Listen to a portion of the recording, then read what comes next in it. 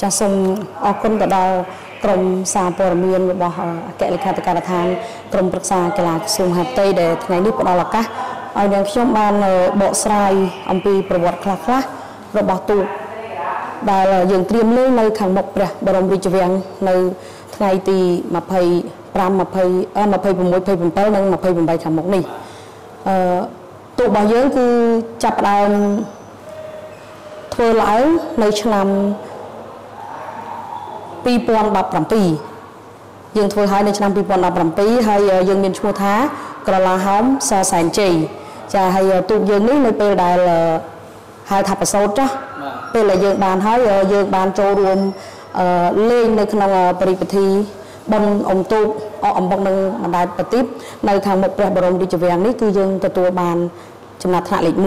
1យើងទទួលបានចំណាត់ថ្នាក់លេខ1សម្រាប់ឆ្នាំ2017 រហូតដល់ឆ្នាំ2018យើងទទួលបានយើងអត់ធ្វើបានល្អដូច2017ទេយើងទទួលបានចំណាត់ថ្នាក់លេខ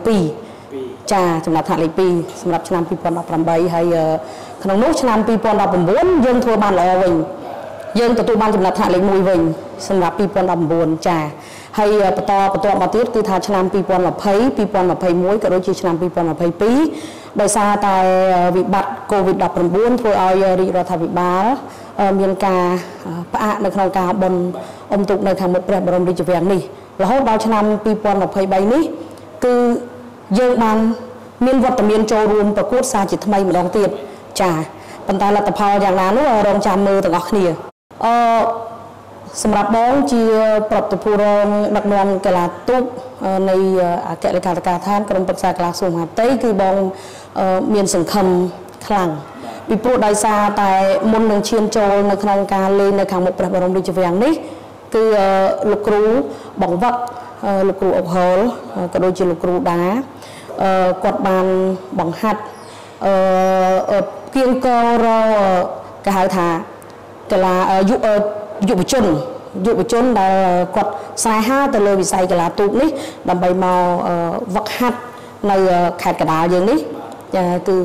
ការវឹកហាត់ត្រៀមវឹកហាត់របស់គាត់ហ្នឹងគឺចាប់តាំងពីដើមឆ្នាំមកដែរព្រោះយើងក្រងថាយើងមានលេងនៅក្នុងព្រឹត្តិពិធីអអំបុកនៅសំពះព្រះខែនៅខាងមុខព្រះបរមរាជវាំងនេះអសម្រាប់ការលេងនៅខាងមុខព្រះបរមរាជវាំងនេះគឺយើងលេងចំណុះ22នាក់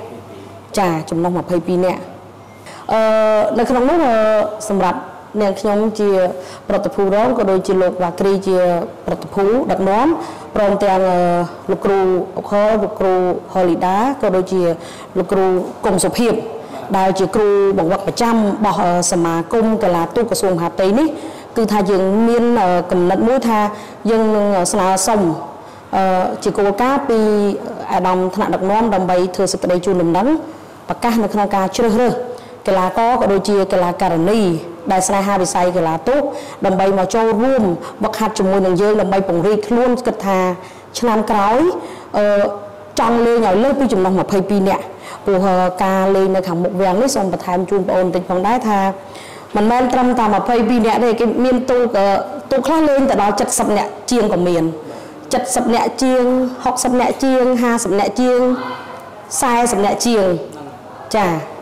ហើយក៏ចំណុះនឹង22អ្នកនឹងតែម្ដងប៉ុន្តែដល់ឡៃគេអាចនឹងដាក់បំរុងទៅតាមតម្រូវការរបស់ស្ថាប័នមួយមួយដែលគេត្រូវការវាអាចឡើងកើនថែមជាងនឹងទៀតចឹងទៅចាអឺអរគុណច្រើនបងអូនដែលបានសួរពីបញ្ហានេះអឺសម្រាប់សមាគមកីឡាទូកក្រសួងមហាផ្ទៃយើងគឺកីឡាកររបស់យើងគឺមានសក្តានុពលបានចេញទៅចូលរួមប្រកួតព្រឹត្តិការណ៍អន្តរជាតិដូចជា World Police ឆ្នាំ2019គឺ ប្រភេទកីឡាទូកនាគរបស់យើងគឺទទួលបានមេដាយមាសហើយមុនគេទៀតប្រចាទទួលបានមេដាយមាសគឺថាសក្តានុពលដែលកីឡាកររបស់មហាផ្ទៃរបស់យើងទទួលបាននេះគឺជាកម្លាំងចលករមួយដូចថាខ្លាំងមែនតើហើយយើងមិនរំពឹងថាយើងអាចទទួលបានទេព្រោះអឺកន្លងកន្លងមកគឺ យើងមិនទាន់ឈានដល់គេទេប៉ុន្តែបន្ទាប់ពីក្នុងនាមក្របខ័ណ្ឌរបស់ក្រសួងមហាផ្ទៃគឺយើងចេញទៅចូលរួមប្រកួត World Police គឺយើងទទួលបានមេដាយមេដាយមាសទៀតមេដាយមាសចាអឺក្នុងនោះយើងក៏រួមចំណែកនៅក្នុងការចូលរួមប្រកួត នៅក្នុងអឺព្រឹត្តិការណ៍ដូចជាកីឡា SEA Games អឺអាស៊ីឬក៏ពិភពលោកបោះទូកបោះសហព័ន្ធទូកដែលបញ្ជូនទៅនឹងគាត់ថា ក្នុងនោះយើងមានមិនមែនថាជាកីឡាករមហាផ្ទៃយើងសុទ្ធទេចាមានលាយគេដែរប៉ុន្តែភាកច្រើនជាកីឡាករបោះមហាផ្ទៃរបស់យើង ដែលទៅចូលរួមនៅដដើមនៅក្នុងព្រឹត្តិការណ៍ក្រៅប្រទេសហ្នឹងហើយយើងទទួលបានជោគជ័យច្រើន យើងទទួលបានដូចជា SEA Games នេះយើងទទួលបានមាសមេដាយមាសមេដាយប្រាក់និងមេដាយសំរឹទ្ធហើយថ្ងៃមុននេះយើងបានទៅចូលរួមកាលខែ11ថ្ងៃទី26 យើងបានចេញទៅចូលរួមប្រកួតកីឡាទូកនាគអន្តរជាតិនៅប្រទេសម៉ាឡេស៊ីយើងទទួលបានមេដាយមាសហើយនៅក្នុងនោះគាត់ថាកីឡាករបោះមហាផ្ទៃយើងចំនួន10នាក់កីឡាករពីបញ្ជាការឋានកងទ័ពជើងទឹកមាន4នាក់ចឹងកម្ពុជាយើងទទួលបានជោគជ័យតំណាងប្រទេសក៏ដូចជាតំណាងសហព័ន្ធហើយក៏ក្រោមការដឹកនាំអឺដល់យកចិត្តទុកដាក់ពីសម្ដេចកលាហោមប្រធានផងដែរចា ចាអឺជាចុងក្រោយ నేను ខ្ញុំសូមគ្រប់ថ្លែងអំណរគុណយ៉ាងជ្រាលជ្រៅដល់ខ្ពស់ខ្ពស់បំផុតជូនដល់សម្ដេចកលាហោមឧត្តមប្រឹក្សាផ្ទាល់ព្រះមហាក្សត្រដែលលោកជាស្ថាបនិកដើម្បីកសាងនៅទូកនេះឡើង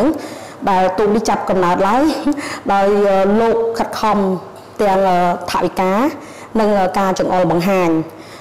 ហើយក៏សូមអរគុណទៅដល់អាដាមអភិសន្តិបណ្ឌិតសសុខា ដែលលោកជារដ្ឋមន្ត្រីឧបនាយករដ្ឋមន្ត្រីរដ្ឋមន្ត្រីក្រសួងមហាផ្ទៃហើយលោកយកចិត្តទុកដាក់នៅក្នុងការចូលរួមប្រកួតលើកនេះអឺលោកជួយឧបត្ថម្ភច្រើនមែនទែនចាហើយនៅក្នុងនោះអឺក៏សូមថ្លែងអំណរគុណជូនចំពោះអាយដាមរដ្ឋអាដាមសសទ្ធិរដ្ឋលេខាធិការជួយដឹកនាំការងារក្រុមប្រឹក្សាកីឡាក្រសួងមហាផ្ទៃលោកបានចុះដឹកនាំផ្ទាល់ជាមួយនឹងអាដាម